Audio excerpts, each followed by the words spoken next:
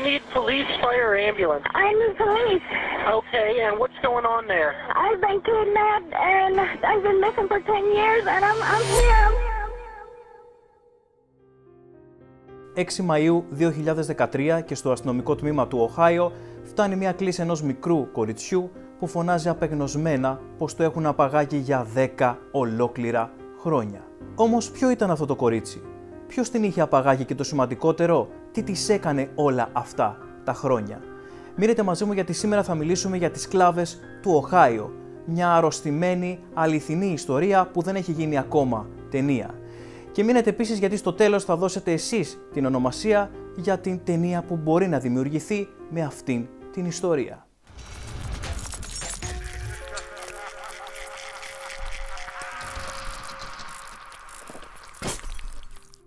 23 Αυγούστου του 2002 και η 29χρονη Μισελ Νάιτ εξαφανίζεται μυστηριωδώς. Η Μισελ ένα χρόνο πριν από την εξαφάνισή της είχε πέσει θύμα βιασμού μέσα στο ίδιο της το σχολείο και αποτέλεσμα αυτής της πράξης ήταν η γέννηση ενός μικρού αγοριού το οποίο δόθηκε σε ανάδοχες οικογένειες. Το γεγονός όμως ότι η οικογένεια της Μισελ δήλωνε πως η κόρη τους έχει κάποια νοητικά προβλήματα, αλλά και το ότι η ίδια είχε χάσει πρόσφατα την κυδαιμονία του παιδιού της, έκανε τις αρχές να νομίζουν πως η Μισελ απλά εγκατέλειψε την πόλη του Οχάιο, μην αφήνοντας πίσω κανένα ίχνος ζωής. Οχτώ μήνες μετά όμως, τον Απρίλιο του 2003, εξαφανίζεται και πάλι μυστηριωδώ η Αμάντα Μπέρι. Σε αντίθεση λοιπόν με την περίπτωση της Μισελ, η εξαφάνιση της Μπέρι έκρουσε τον κόδωνα του κινδύνου στις αρχές, καθώς ένα κορίτσι 17 ετών το να μην γυρίζει σπίτι του ανήμερα των γενεθλίων του δεν έβγαζε κανένα απολύτως νόημα. Βρισκόμαστε πλέον στο 2004 και έχει περάσει περίπου ένας χρόνος που δεν έχει βρεθεί τίποτα για την εξαφάνιση των δύο κοριτσιών, αλλά και δεν έχει δηλωθεί καμία άλλη εξαφάνιση από τότε. Μέχρι που στην πόλη του Οχάιο σκάει μια είδηση σαν βόμβα.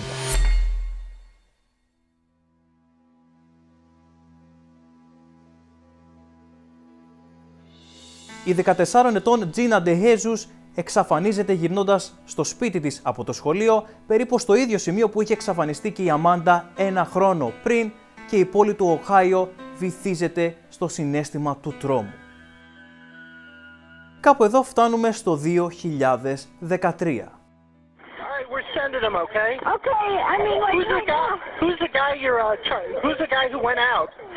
um, his name is Ariel Castro. Η αστυνομία φτάνει δύο λεπτά αργότερα στο σπίτι του Κάστρο και εκτός από την Αμάντα Μπάρι βρίσκει την Μισελ Νάιτ αλλά και την Τζίνα Τεχέζους σε άθλια κατάσταση και είναι φυσικό διότι ήταν εχμάλωτες για 10 ολόκληρα χρόνια. Όμως η Αμάντα δεν παρουσιάζεται μόνη της μπροστά στην αστυνομία, αλλά κρατάει στην αγκαλιά της και ένα μικρό παιδί.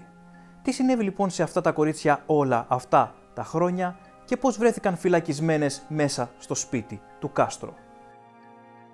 Ο Αριέλ Κάστρο ήταν οδηγός σχολικού λεωφορείου και είχε απασχολήσει αρκετές φορές στις αστυνομικές αρχές λόγω της βίαιης συμπεριφοράς που είχε απέναντι στη γυναίκα του, με την οποία είχε έναν γιο και τρεις κόρες. Η γυναίκα του όμως, μην αντέχοντας άλλο αυτήν την κατάσταση, χωρίζει τον Κάστρο και παίρνει την κυδαιμονία και των τεσσάρων παιδιών τους. Κάτι που έβγαλε μέσα από τον Ισπανόφωνο άντρα τον αρρωστημένο εαυτό που έκρυβε. Ο Κάστρο προσέγγισε και απήγαγε και τα τρία κορίτσια με τον ίδιο ακριβώς τρόπο. Τους έπιασε την κουβέντα, κέρδισε την εμπιστοσύνη τους και προσφέρθηκε να τους πάει σπίτι τους με το αμάξι. Θα μου πεις τώρα, ρε Θωμά, έτσι μπαίνεις μέσα σε ένα αμάξι ενός αγνώστου; Θα σου πω μαζί σου, μόνο που στα μάτια των τριών κοριτσιών ο Κάστρο κάθε άλλο παρά άγνωστος ήταν. Ζούσε στην ίδια ακριβώς γειτονιά και με τις τρεις οικογένειες των τριών κοριτσιών και μάλιστα είχε και συχνή επαφή με κάποιους από αυτούς. Τι σημαίνει αυτό; Ότι τα τρία κορίτσια ήταν για 10 ολόκληρα χρόνια φυλακισμένα σε ένα σπίτι που ήταν λίγα στενά μακριά από το δικό τους. Ο Απαγωγιάς μάλιστα πήγαινε στις αγρυπνίες που γίνονταν στη μνήμη των τριών κοριτσιών, συμπονούσε και αγκάλιαζε τους γονείς σαν να μην έχει κάνει απολύτως τίποτα. Ο Κάστρο λοιπόν είχε φυλακισμένα τα τρία κορίτσια στη σοφίτα του σπιτιού του σε ειδικά διαμορφωμένα δωμάτια με πόρτες που κλείδωναν και ξεκλείδωναν μόνο από την έξω πλευρά αλλά και με μια τρύπα στην πόρτα που χώραγε ίσα ίσα να μπει ένα πιάτο φαΐ αλλά και ένα ποτήρι νερό. Τις χτυπούσε και τις βίαζε καθημερινά. Όμως ο άρρωστος αυτός άντρας δεν έμεινε μόνο εκεί. Άφηνε επίτηδες ξεκλείδωτα τα δωμάτια των κοριτσιών, κρυβόταν στα σκαλιά της σοφίτας και όταν κάποια προσπαθούσε να διαφύγει, την έπιανε και την χτυπούσε μέχρι λιποθυμίας. Έτσι εκπαίδευε τα κορίτσια πνευματικά έτσι ώστε να μην προσπαθήσει ποτέ καμία να αποδράσει. Όπως προανέφερα, ο Κάστρο βίαζε καθημερινά τις κοπέλες και αποτέλεσμα αυτής της πράξεως είναι να έχει αφήσει πέντε φορές έγκυο την Μισελ και μία φορά την Αμάντα. Η Μισελ σαν μεγαλύτερη αντιστεκόταν συνεχώς στον απαγωγία, κάτι που τον εξόργιζε και δεν ήθελε να έχει ένα παιδί μαζί της. Τι έκανε λοιπόν, όταν καταλάβαινε πως είναι έγκυος, τη χτυπούσε στην κοιλιά μανιωδώς και την άφηνε για μέρες νηστική έτσι ώστε να είναι σίγουρος ότι θα αποβάλει. Με την πιο συγκαταβατική και έξυπνη Αμάντα όμως, τα πράγματα ήταν αρκετά διαφορετικά. Η Αμάντα είχε καταλάβει πως εάν φέρεται σωστά και υπάκουα απέναντι στον Κάστρο, τότε θα καταφέρει να χτίσει μια διαφορετική σχέση μαζί του και αυτό ακριβώς έγινε. Όταν λοιπόν εκείνη έμεινε έγκυος, ο Κάστρο την φρόντιζε ώστε 9 μήνες μετά ήρθε η ώρα να γεννήσει. Όμως πώς γεννάει μια γυναίκα στις μέρες μας που είναι φυλακισμένη μέσα σε ένα σπίτι; Ο Κάστρο έβαλε την Αμάντα να γεννήσει μέσα σε μια φουσκωτή πισίνα έχοντας για μοναδική βοήθεια τις άλλες δύο εχμαλώτους. Για καλή τη τύχη η Αμάντα είχε μια γέννα χωρίς επιπλοκές και έτσι έφερε στη ζωή ένα μικρό υγιέστατο κοριτσάκι. Είναι αυτό το κοριτσάκι που κρατούσε στην αγκαλιά της όταν τη συνάντησαν οι αστυνομικοί. Οι μέρες περνούσαν, έγιναν χρόνια, ο Κάστρο μεγάλωνε σαν φυσιολογικός πατέρας την κόρη του και έπαιζε με το μυαλό των τριών κοριτσιών, δείχνοντάς τους τις έρευνες που γινόντουσαν για εκείνες στην τηλεόραση και κροϊδεύοντάς τες μέχρι που 10 ολόκληρα χρόνια μετά κάνει το πρώτο του λάθος.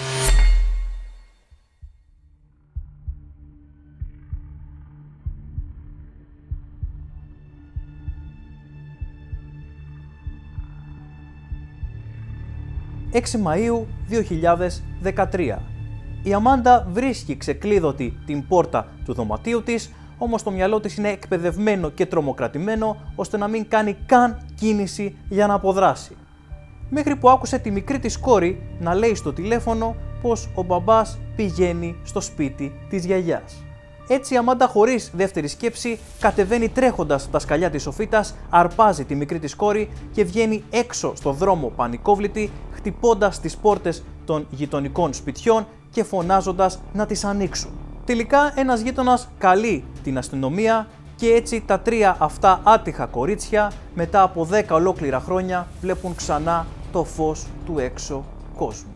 Ο Πορτορικανός Άριελ Κάστρο συλλαμβάνεται από τις αρχές όμως στο δικαστήριο δηλώνει αθώος. Σύμφωνα με ένα γράμμα που βρέθηκε στο σπίτι του Κάστρο, το οποίο ήταν γραμμένο από τον ίδιο, εκείνος χαρακτηρίζει τον εαυτό του ως σεξοκυνηγό και ότι έχει κάποιο νοητικό πρόβλημα και πως τα κορίτσια αυτά πληρώνουν το τίμημα ότι εμπιστεύθηκαν έναν άγνωστο και μπήκαν μέσα στο αμάξι του. Με αυτόν τον τρόπο ο απαγωγέας προσπαθούσε να δικαιολογήσει τον εαυτό του έτσι ώστε να συνεχίζει χωρίς τύψεις. Το δικαστήριο του Οχάιο τελικά τον καταδίκασε με ποινή 10 φορές ισόβια. Ο απαγωγέας επίσης την ημέρα της εκδίκασης άκουσε από το στόμα της Μισελ Νάιτ τα εξής λόγια. Πήρες 11 χρόνια από τη ζωή μου. Ξόδεψα 11 χρόνια στην κόλαση, όμως για εσένα η κόλαση τώρα ξεκινάει. Εγώ θα ξεπεράσω αυτό που έγινε, όμως εσύ θα είσαι στην κόλαση για μία αιωνιότητα.